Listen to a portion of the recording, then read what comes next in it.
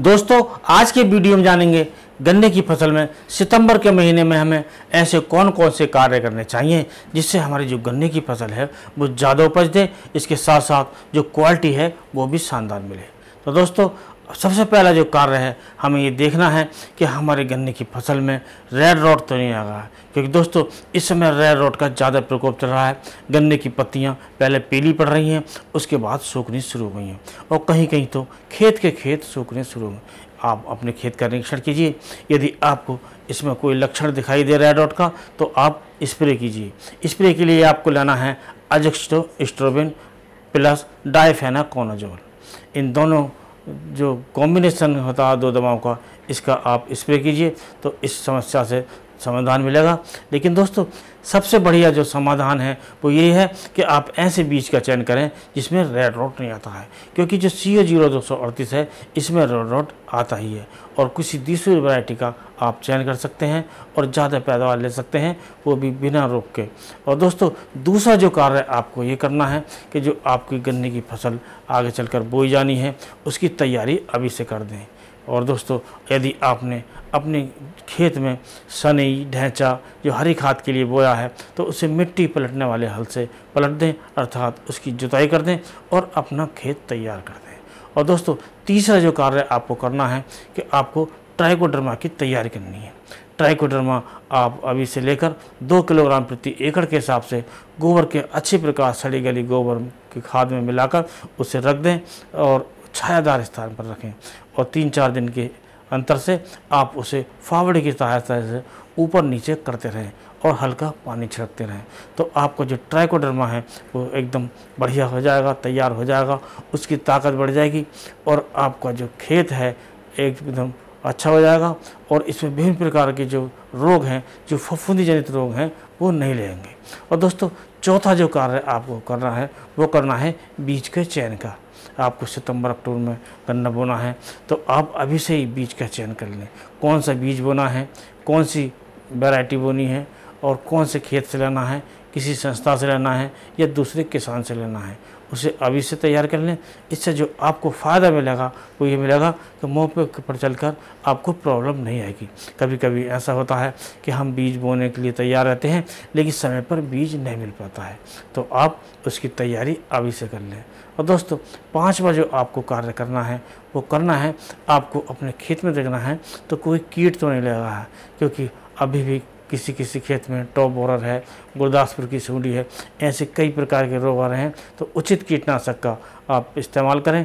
जो आपका खेत है, वो विभिन्न प्रकार के जो सुंडी हैं, विभिन्न प्रकार के जो कीट हैं, उनसे बचा रहे।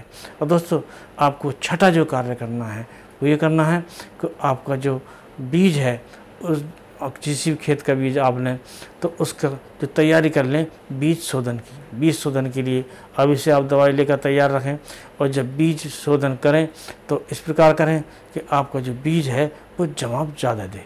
क्योंकि दोस्तों, जब बीज का जवाब ज़्यादा होता है, उसी पर निर्भर करता है कि आपकी जो उपज है, वो ज़्यादा मिले। इससे उपज ज़्यादा मिलती है। जब ज़्यादा जमाव होता है, ज़्यादा टेलर्स होते हैं तो हमें ज़्यादा गन्ना मिलता है। जिससे जो हमारी उपज है, वो बड़ी ही मिलती है। और दोस्तों सातवा जो कार्य है हमें ये करना है कि हमें अपने खेत में जो तैयारी करनी है, वो पूरी तैयारी अभी से कर लें। किस प्रकार उसकी मिट्टी की जाँच करनी है, आप जाँच अवश्य कराएँ। मिट्टी के सैंपल लेकर यदि आप अभी से ही जाँच करा लेते हैं तो उसका आपको फ़ायदा मिलेगा। क्योंकि जब हम खेत की जुताई करते हैं और उसके तुरंत बाद बुआई करते हैं तो हमें उस समय टाइम नहीं मिलता कि हम मिट्टी की जाँच करा सकें। तो आप मिट्टी की जाँच भी अभी से ही करा लें तो आपको ज़्यादा फ़ायदा मिलेगा। और आप मिट्टी की जाँच के जो नमूने हैं, उनकी जो रिपोर्ट है, वो जल्दी ले सकेंगे और उसी के अनुसार विभिन्न प्रकार के जो फर्टिलाइजर्स हैं, उनका प्रयोग कर सकते हैं। दोस्तों, आठवां जो कार्य आपको करना है, वो करना है गन्ने की बंधाई का। जिस किसान भाई ने यदि गन्ने की बंधाई नहीं की है तो गन्ने की बंधाई निपटा लें। और दोस्तों, जिस किसी भाई ने गन्ने की बंधाई एक बार कर दी है और गन्ने की लंबाई काफ़ी ऊँची हो गई है तो उसकी दूसरी बंधाई अवश्य करा दें क्योंकि दोस्तों, बंधाई से सबसे बड़ा जो फ़ायदा होता है, वही होता है कि गन्ना गिरने से बच जाता है। और जब गन्ना गिरने से बच जाता है तो उसमें ज़्यादा वज़न मिलता है, ज़्यादा उपज मिलती है और चूहे वगैरह से भी नुकसान कम होता है। कुल मिलाकर हमें ज़्यादा फ़ायदा मिलता है।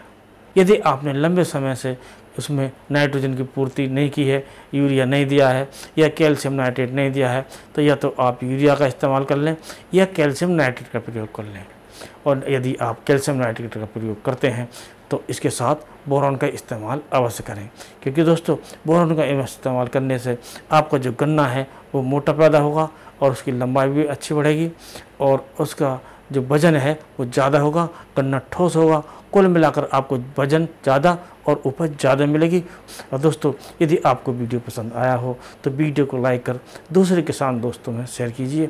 और भी ऐसे वीडियो आने वाले हैं, उन वीडियो को देखने के लिए यदि आपने अभी तक चैनल सब्सक्राइब नहीं किया है तो चैनल को सब्सक्राइब कर लें, बेल आइकन को ऑल पर सेट कर लें इससे आपको जो नोटिफिकेशन है वीडियो की, वो आपको जल्दी मिल जाए और आप वीडियो लगातार देखते रहें। तो आज के वीडियो में इतना ही। अगले वीडियो में टॉपिक के साथ फिर मिलते हैं। तब तक के लिए नमस्कार।